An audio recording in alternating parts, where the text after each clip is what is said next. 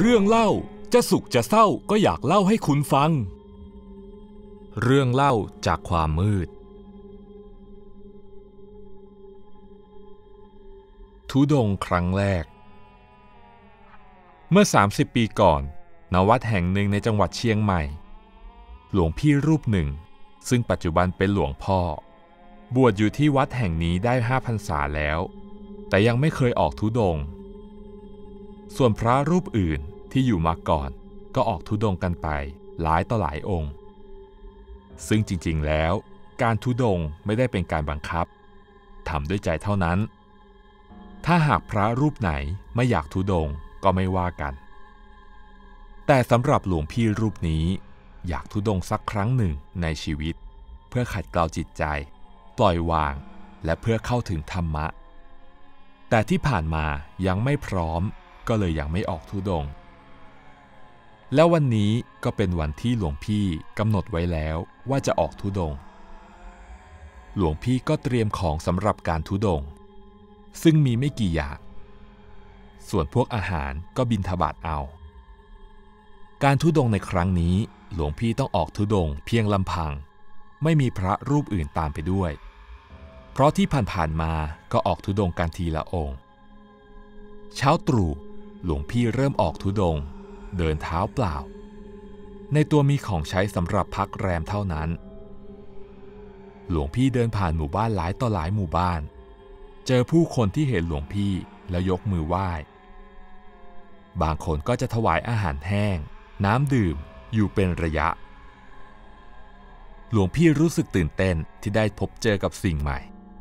หลังจากอยู่กับกิจวัตรเดิมๆมาถึง5พรรษา ตกบ่าย หลวงพี่เดินท่ามกลางแสงแดดที่ร้อนเอาเรื่อง หลวงพี่จึงมองหาที่พักสำหรับคืนนี้ไว้แต่เนิ่นๆ เดินไปสักพักก็เจอเชิงดอยลูกหนึ่งไม่ใหญ่มาก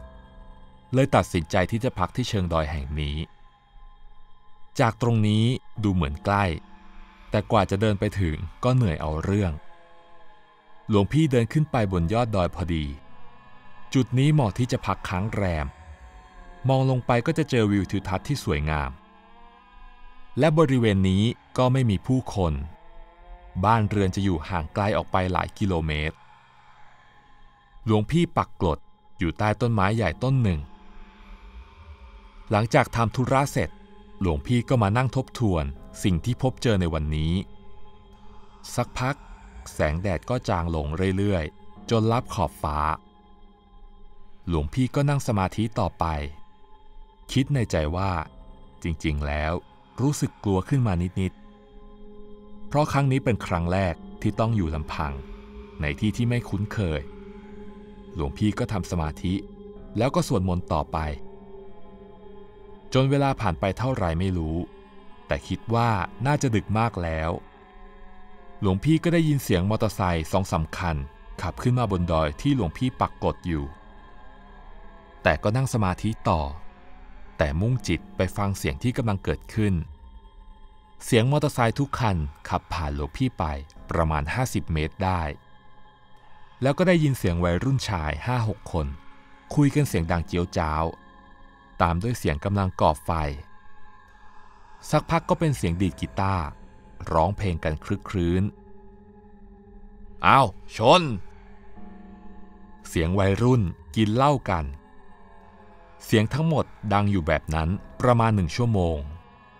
แล้วก็เงียบไป เงียบแบบเงียบสนิท เหมือนเปิดเพลงไว้แล้วกดปิดทันที ไม่มีแม้แต่เสียงก่อไฟที่เมื่อกี้ยังดังชัดเจนอยู่เลย หลวงพี่จึงลืมตาขึ้นมา